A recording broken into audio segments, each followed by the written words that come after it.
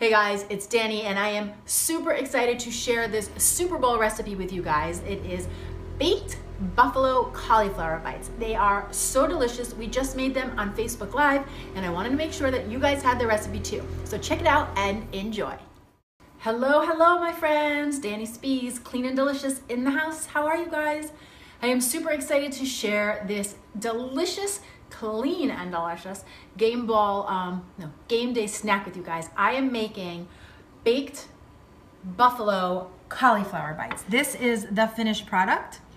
Um, basically, this is, has all the flavor and all the same idea of a buffalo wing, but instead of having chicken and deep fried wings, we've got cauliflower with a little bit of um, batter on the outside, and then it's tossed in buffalo sauce, and you get this great, if you come close, you can see, it gets this little bit of a crispy edge to it, right? And it actually, um,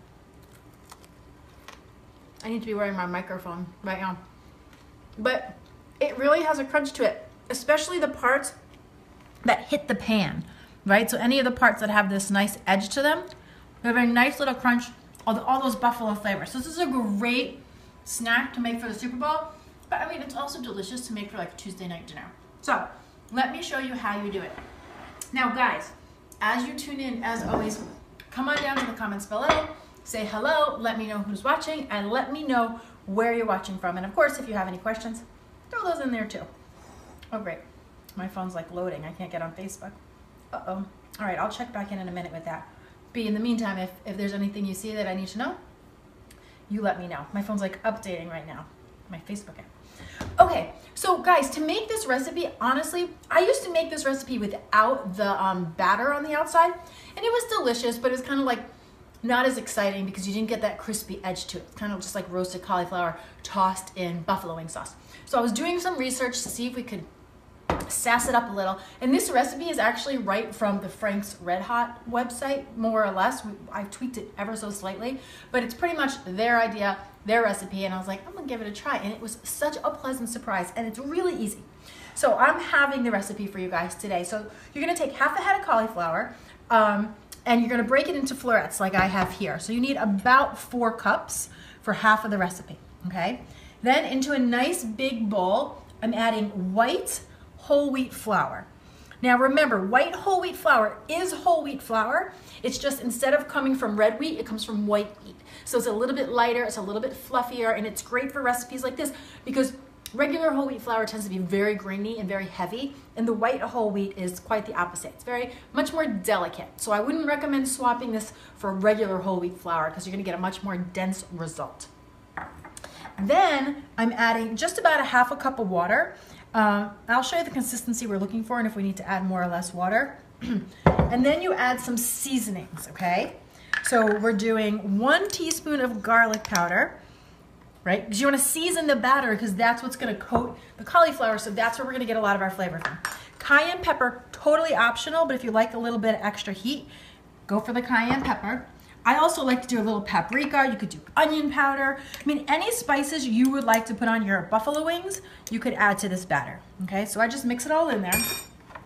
And then you're gonna grab your fork and mix this all together. And I can see already I did not add my enough water. There, half a cup. Okay, so you're looking for kind of like a loose pancake batter consistency. And you wanna make sure that all of those spices are mixed throughout the batter because again, that's what's gonna season our cauliflower. What could you use if you wanted to go gluten-free? You could do brown rice flour. Brown rice I've not tried it, but I have seen online people talk about doing it and that they've had success. So if you need to go gluten-free, guys, sub in some brown rice flour. I'm gonna get one more splash of water. I want the batter to be just a little bit looser and I'll show you what I mean. Okay, this is what we're going for. You don't want it to be like a paste. You want it to have a be a little bit runny. Again, just like if you were making pancakes. Whoop. Okay. You're welcome, Sabrina. so once you get your batter where you want it, like we have here, then you're ready to toss in your cauliflower. So I'm going to take that cauliflower and I'm going to put it right into the batter. And then you could use your hands I'm gonna use a spatula to try to keep my hands clean right now. And you're just gonna toss the cauliflower around in the batter.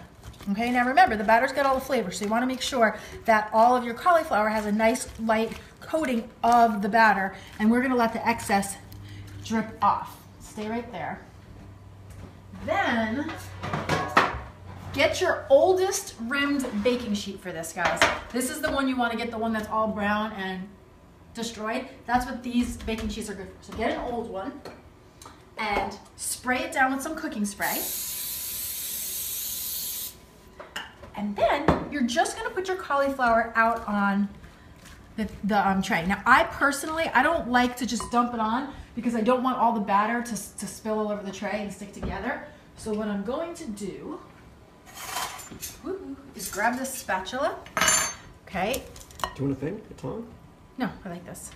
And just drop it like that. Okay.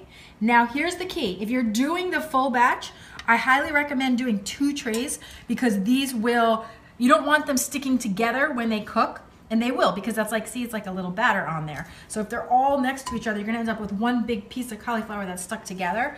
And that, my friends, is not what we're going for. Okay, so look at that, very cool concept. I was very excited to discover this and even more excited to know that I got to come on live and share it with you guys today. I'm curious, what are some of your favorite Super Bowl snacks, guys? Come down to the comments below. Let me know some of your personal favorite Super Bowl snacks. Rinsing my hands. Okay, so once you've got that all set up and ready to go, this is gonna go into a 450 degree oven. How perfect is that timing? 450 degree oven for 20 minutes, okay? Once the 20 minutes is up, let me show you what happens.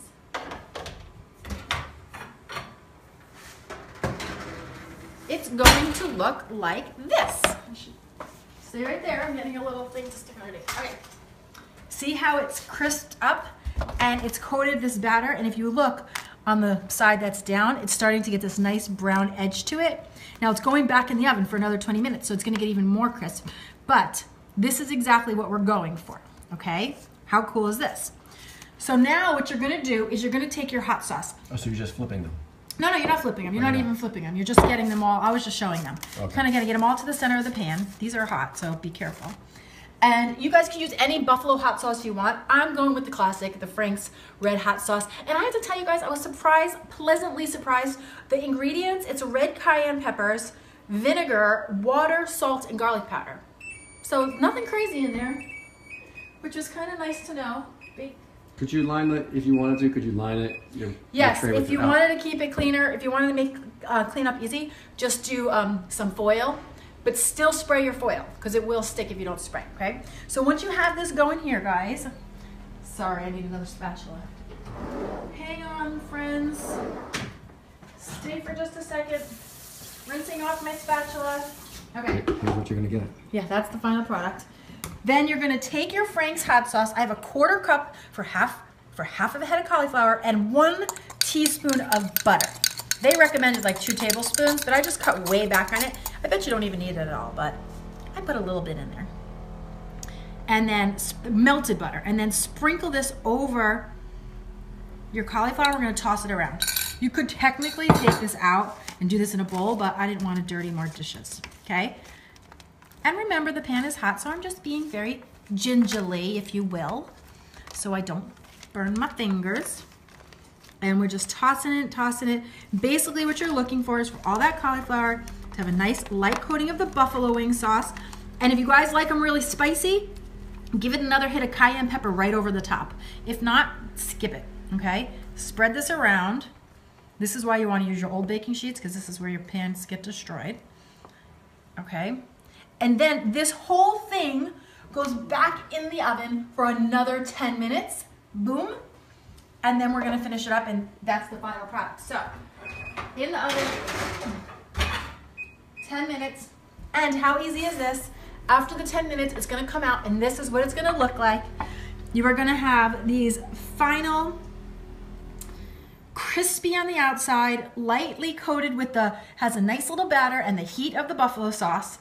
And how awesome and fun is this? I like to serve it just like you would do with wings. So I serve it up with some um, celery and carrots, and then you could either do ranch or blue cheese, depending on where you roll. Here on the East Coast, we do blue cheese. When we used to live in California, everybody did ranch. So, how easy is that? I'm gonna pop on really quick now and see if you guys have any questions. Whoa! Let's do a little tester. where over here. Is that? Dip it. Hmm. Pop it. So good. So good. it has a nice little crunch on the outside.